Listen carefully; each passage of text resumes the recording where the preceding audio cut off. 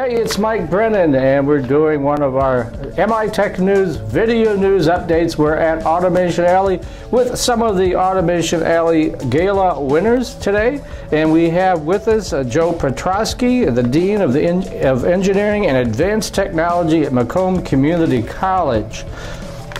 And Joe won for Outstanding Educational Initiative. Well, congratulations, Joe. Thank you.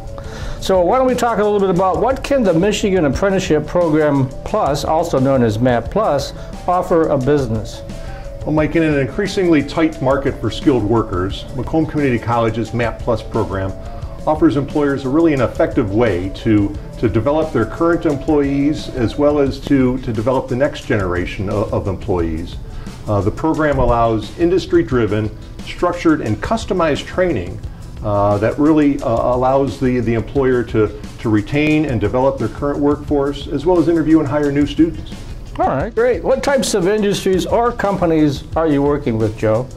Well, Macomb Community College is focused on the manufacturing uh, areas, CNC machining, tooling, uh, die, mold, welding, uh, industrial maintenance, those type of areas uh, as well as supporting traditional apprenticeship areas like construction or climate control. Well, the MAP Plus program includes building awareness of manufacturing careers and opportunities. Uh, we work very closely with the high schools for the next generation with our youth, as well as other organizations. Pre-apprenticeship training, apprenticeship training, uh, matching employers and, and students uh, together uh, enabling and facilitating the certificate completion, that customized certificate, uh, as well as encouraging the associate degree attainment. And there's even bachelor's degree options after that.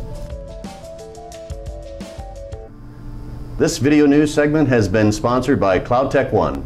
We help companies design, deploy, and support cloud-based technology solutions that increase productivity and reduce expenses. Check us out at www.cloudtechone.com.